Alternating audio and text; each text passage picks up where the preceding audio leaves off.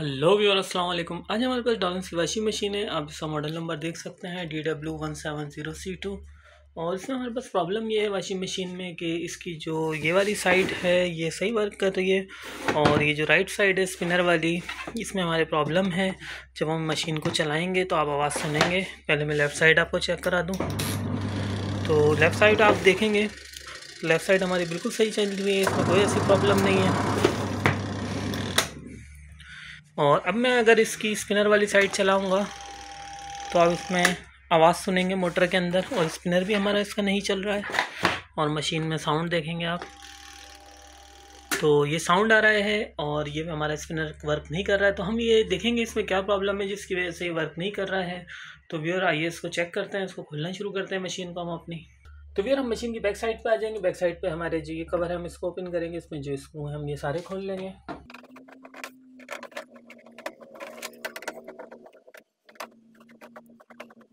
तो फिर ये स्क्रू सारे ओपन हो गए हैं, उसके बाद हम इस कवर को ऐसे इसमें से रिमूव कर देंगे। तो भैया कवर रिमूव करने के बाद आप देखेंगे कि ये जो इसका ब्रेक सिस्टम होता है, ये इसका टूट चुकी है वायर तो भैया, आप देख सकते हैं कि ये वायर हमारे यहाँ लगी हुई थी, जो ये टूट गई है, जिसकी वजह से ये ब्रेक जो होता है, ये ऐसे पीछे खिंचा हुआ होता है, कि ब्रेक की पोजीशन कुछ इस तरह होती है तो ये फ्री होता है, और ये घूम जाता है ईज़िली तो फिर आप ये देख सकते हैं कि ये जो इसकी ब्रेक वायर इसकी टूट गई है जिसकी वजह से ये ब्रेक इसका लग के रह गया है, जिसकी वजह से ये नहीं चल रहा है। अब ये आप इस पर चला जाएगा तो ये जाम हो जाएगा, ये नहीं चलेगा। और जब आप ब्रेक को रिलीज़ करेंगे और फिर इसको घुमाएँगे तो ये देखें आप फ्रीली घूम रहा है। तो फिर इसके अंदर जो हमारी प्रॉब्लम है मशीन के अंदर, वो ये वायर है, ये वायर हमारी टूट गई है। ये इसका आप देख सकते हैं प्लास्टिक भी यहाँ से टूट गया है। तो फिर इसके अंदर ये वायर हमें नई इंस्टॉल करनी पड़ेगी वायर हमारी इसकी टूट गई है पूरी। हम ये नई ले आते हैं जाके। तो वियर ये पार्ट हम इसका ले आए हैं, पूरा केबल कंप्लीट इसकी मिलती है साथ में, आप देख सकते हैं। ये जो पार्ट इसका टूट गया था, वो ये हम ले आए हैं और अब हम इसमें ये इंस्टॉल करेंगे। ये केबल आपको मार्केट से मिल जाती है हंड्रेड रुपीज़ की। पूरी कंप्लीट वायर वगैरह सब कुछ है इसके अंदर लगी हुई, जैसा आपने इसको इंस्टॉल करना है। तो फिर आइए हम इसको इंस्टॉल करना शुरू करते हैं। तो फिर इसको इंस्टॉल करने के लिए हमें पहले जो इसका ये पुराना जो प्लास्टिक लगा हुआ है, इसको रिमूव करना पड़ेगा। कोई भी बारीक पेचकस की मदद से आप इसको रिमूव कर सकते हैं। तो आप देखेंगे कि ये इसमें से निकल जाएगा। तो वेरा आप देख सकते हैं कि हमारा इसमें से रिमूव हो गया है। तो वेरा आइए इसकी फ़िटिंग शुरू करते हैं हम। सबसे पहले हम जो ये इसकी जो लास्ट पॉइंट है, ये हम पहले बिठा देंगे इसके मोटर के ब्रेक में। थोड़ा सा कंजेस्टेड होता है, क्योंकि तो ये इसमें जगह थोड़ी कम होती है। तो आप ये खोल के भी कर सकते हैं ईज़िली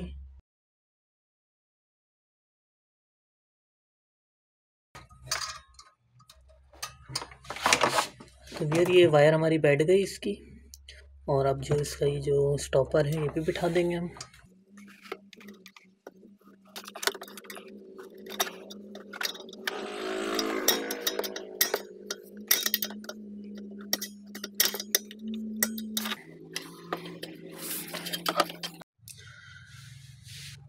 तो फिर ये जो प्लास्टिक हमने इसमें से निकाला था, ये हमने बिठा दिया है नए वाले का।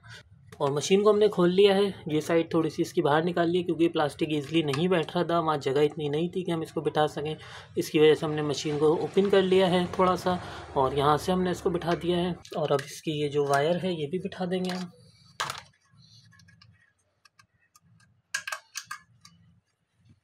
वायर भी बैठ गई है और थोड़ा सा इसको हम बंद कर देंगे ताकि निकले नहीं इसमें से।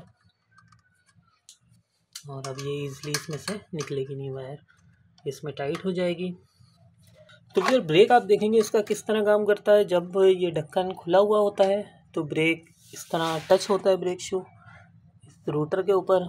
और जब ये ढक्कन बंद होता है तो ये कुछ इस तरह हो जाता है। तो फिर आप देख सकते हैं किस तरह काम करता है। जब आप इसको खींचेंगे तो आपका ब्रेक हट जाएगा। और जब आप इसको छोड़ देंगे तो आपका ब्रेक लग जाएगा। तो फिर आइए इसकी मजीद फिटिंग शुरू करते हैं हम। तो फिर ये जो पार्ट था, इसका यहाँ पे लगा हुआ था। और ये टूट चुका है। तो फिर ये वाला जो पार्ट है, ये सेम टू सेम यही है तो हम इसको यहाँ पे बिठा देंगे। जितना ऊपर तक हो सकता है आप दबा के इसको बिठा दें।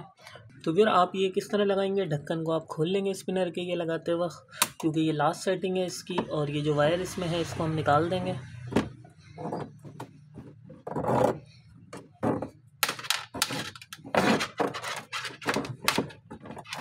इस वायर का हमें काम नहीं है।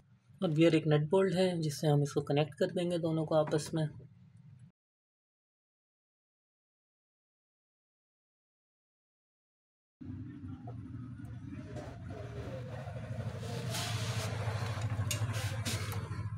और वियर इस नट को हम टाइट कर देंगे अच्छी तरह।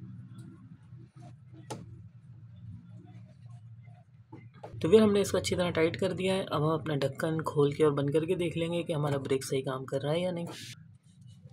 तो फिर आप देख सकते हैं, अभी जो हमारा है, ढक्कन खुला हुआ है और अब हम ढक्कन बंद कर करेंगे अपना। तो ये देखेंगे आपके ये ब्रेक इसका खुल गया और अब मैं ढक्कन खोल रहा हूँ, ये ब्रेक इसका लग गया और ये ढक्कन बंद कर दिया मैंने तो ये देखेंगे आप ये फ्री हो गया बिल्कुल। और जैसे ही घूम रहा है और अब ढक्कन खुलेगा तो ये फ़ौरन इसका ब्रेक लग जाएगा। तो फिर यहाँ तक हमारा काम हो गया, अब हम मशीन को मज़ीद बंद कर देंगे अपनी।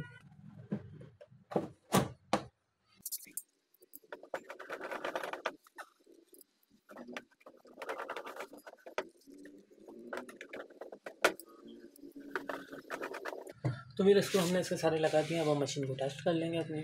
तो फिर मशीन को अब हम अपनी टेस्ट कर लेंगे। ये हमारा टाइमर है स्पिनर का, ये हम घुमा के देखेंगे। तो फिर अब आप देख सकते हैं, इसकी आवाज़ सुन सकते हैं कि स्पिनर हमारा चल रहा है, बिल्कुल सही वर्क कर रहा है हमारा स्पिनर और जब हम इस ढक्कन को खोलेंगे तो ये स्टॉप हो जाएगा। तो फिर अब हम दोबारा इसको बंद करके देखते हैं। तो वीर अब आप इसका साउंड सुन सकते हैं कि ये स्पिनर हमारा बिल्कुल सही वर्क कर रहा है। तो फिर अगर हमारी वीडियो अच्छी लगी हो तो हमारे चैनल को सब्सक्राइब कीजिए, हमारी वीडियोस को लाइक कीजिए शेयर कीजिए कमेंट कीजिए। तो मेरे आज तक के लिए इतना ही। हमें दीजिए इजाज़त। फिर मिलते हैं दूसरे किसी वीडियो में। अपना ख्याल रखिएगा। अल्लाह हाफिज़।